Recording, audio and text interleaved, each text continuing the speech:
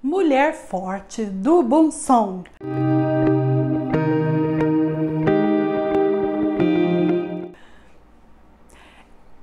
Eu só comecei a assistir esse drama porque o povo começou a falar assim: olha, mimim, bombom, mimim, E falei assim: mimim, bombom, gente, o que, que é isso? O que está acontecendo aqui? Quem são esses? Quem são esses? Esse casal aí que apareceu no spin-off é, Garota Forte Nansung, né? Então tem uma diferença. Uma é Mulher Forte do Bom Song, a outra é Garota Forte Nansung. E eu achei que era o mesmo drama. Eu falei assim, gente, mas é o mesmo drama, vocês estão falando de outra coisa, o que vocês estão falando? Olha, coitado de mim, né? E aí fui lá pesquisar o que, que era isso, o que estava acontecendo na Dramalândia. e fui atrás, fui saber o que estava acontecendo. Minha surpresa, encontrei Park Hyun-sik e Park Bong-yoon. Ah, meu Deus do céu, esses dois são uma graça e realmente, gente, o que, que é, o que, que é, que, que é essa coisinha linda? Vamos ao drama. A Do Song, ela é uma menina que nasceu com uma maldição, entre aspas, assim, na sua família, que todas as mulheres da família eram muito, muito fortes, né? E ela nasce essa mulher muito, muito forte mesmo, assim, né? Ela tem uma força extraordinária, ninguém se mete com a Bonsum. Só que ela, ela assim, é, existe uma outra coisa na família. Você não pode usar essa força pro mal. Você sempre tem que usar essa força para ajudar as pessoas e a fazer o bem. Então ela meio que esconde um pouco essa força dela aí. Só que as circunstâncias da vida acaba forçando ela a exercer essa força. E a gente sabe que as mulheres são muito oprimidas, né, minha gente? E acontecem certas situações em que ela tem que tomar uma certa atitude. e num dado momento ali, ela salva as pessoas, né? ela salvou um ônibus, né, de, de, de ter um acidente. Nesse ônibus estava o Park Hyun-sik, o personagem dele lá é o Amin Hyuk. O Amin Hyuk ele vem de uma família muito rica, ele é um herdeiro ali. Só que ele não quer muito saber dessa, dessa família, não. Ele acaba fundando uma empresa de jogos, né?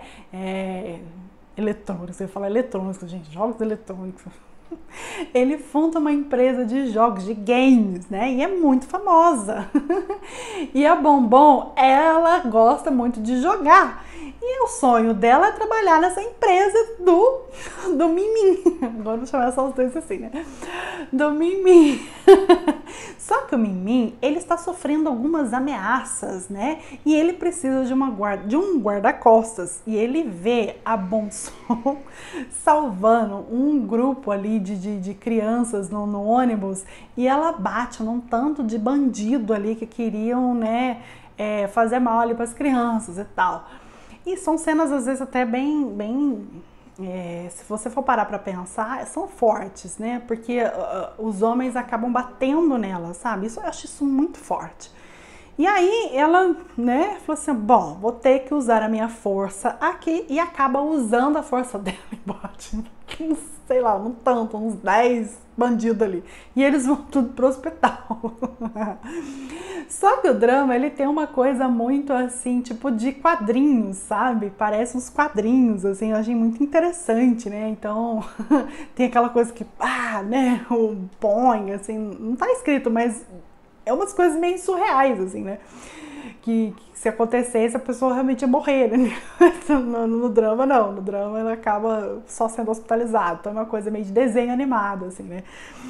E aí, ela vai ser a guarda-costas do Mimim. O Mimim, gente, ele já se apaixona por ela à primeira vista, né?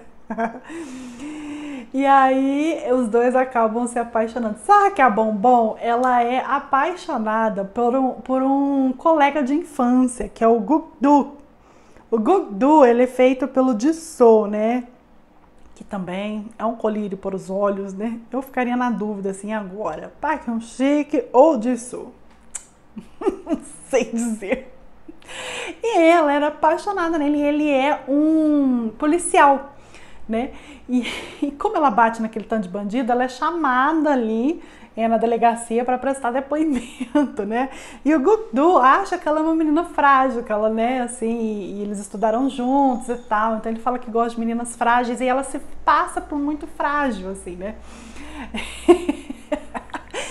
e ela faz de tudo para ele não descobrir que ela é muito forte, entendeu? Então, assim, tem outras cenas muito interessantes. Aí o coitado do Miminho vai gostar da Bombom e a Bombom gosta do Gukdu. Até, né, até ali, né?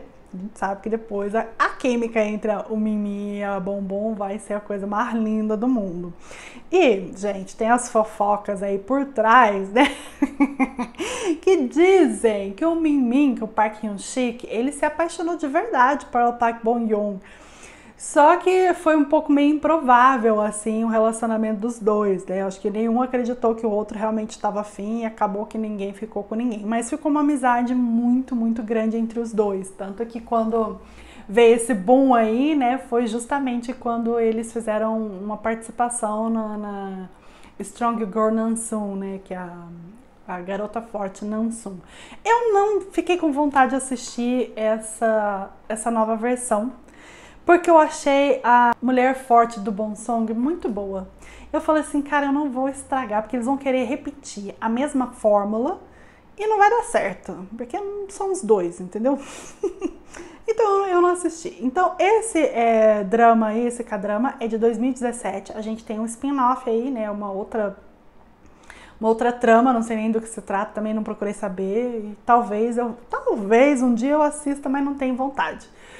Justamente por isso que eu não gosto dessa coisa de ficar repetindo fórmula. Eu não sei, eu não, não, não curto. Strong Woman, né? A mulher forte do Bom Song é a coisa mais linda que você pode ver. Você vai rir demais. você vai se emocionar. É uma trama muito legal, tem alguns mistérios acontecendo ali. Vale muitíssimo a pena de ver essa química entre esse casal mara, beleza? Me diz aí, você tá assistindo é, a Nansum na Netflix e você já assistiu lá esse de 2017, esse K-drama de 2017, me diz aí. Eu só assisti esse que é a Mulher Forte do Bom Som. O resto eu, eu não quero ver mais. Eu não quero ver mais, que foi muito bom. foi bom demais. e para quem aí, né, quiser, né, tiver uma ressaca dorameira, pode pegar outros dramas aí do Park Hyun-sik, que é Huarang, né? Que é um clássico aí que eu acho que foi a estreia aí do Park Hyun-sik e também tem Nossa Juventude Florescente, que ele tá completamente diferente, também é um drama muito legal, vou deixar aqui no card porque eu já fiz resenha dele e é maravilhoso, beleza? E outra, a Park Bo-young, ela está com outro drama também na Netflix, que é Desgraça ao seu dispor. Eu também vou fazer uma resenha sobre esse drama que é muito, muito bacana. Então me diz aí se você já assistiu, o que, que você achou, o que, que você. Gente, me fala o que, que você achou desse casal, desse drama. É muito, muito bom, não é não?